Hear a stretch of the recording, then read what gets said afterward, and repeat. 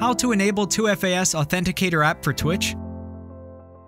Step 1. Install 2FAS Authenticator app on your phone. Download our app. Step 2. Turn on two-step authentication for Twitch. You will need a Twitch account and your phone. Sign into your Twitch account. Click on your profile picture in the top menu and select Settings. Select Security and Privacy. Click Set up two-factor authentication.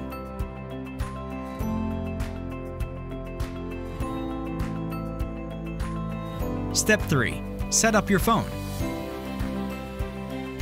Click Enable 2FA. Enter your mobile number and click Continue.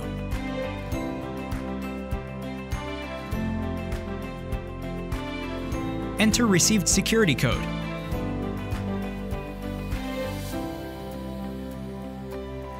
Open 2FAS Authenticator app and scan the QR code. 2FAS app will generate a 6-digit code. Enter the 6-digit code from 2FAS Authenticator app and click Submit. Two-step authentication is enabled. Click Done. You're done. You're ready to log in with 2FAS app.